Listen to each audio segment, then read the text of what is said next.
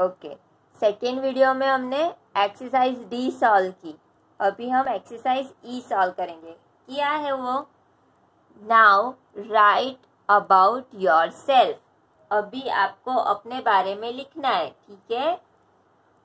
पहले तो ये क्या लिखना है वो सब देख लेते हैं। फिर आंसर्स हम बाद में फिल करते हैं, ठीक है? माई नेम इज़ डैश यानी मेरा नाम ये है। My mother's name is dash, आपकी मम्मी का नाम लिखना है। My father's name is dash. यहाँ पे आपकी, आपके पापा का नाम लिखना है। आई लिव इन आप कहाँ पे रहते हो, वो लिखना है। The name of my school is फिर हमारी स्कूल का नाम लिखना है।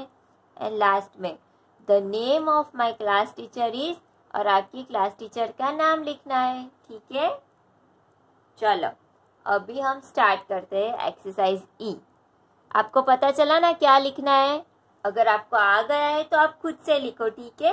बाद में वीडियो चेक करना कि क्या लिखा है। वरना हम पहले सॉल्व करते हैं, फिर आप होमवर्क कर लेना, ठीक है?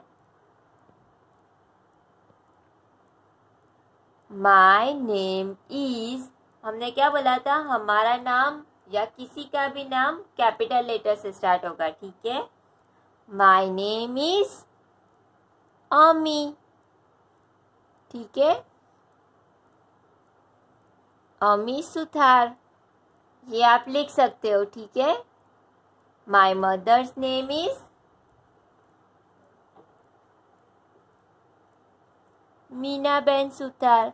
देखो, जो भी मैं लिख रही हूँ, वो कैपिटल लेटर से लिख रही हूँ। पता चल रहा है ना? My father's name is Mukund Bhai. Suthar.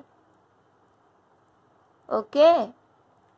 I live in आपने सिटी का नाम लिखना है, वडोदरा। आप अपने हिसाब से कोई भी लिख सकते हो कि मैं गोत्री में रहती हूँ, मैं गोरवा में रहती हूँ, मैं निज़ामपुरा में रहती हूँ, फिर वडोदरा में रहती हूँ, या कुछ भी लिख सकते हो, ठीक है? The name of my school is यहाँ पे आपने अपने स्कूल का नाम लिखना है।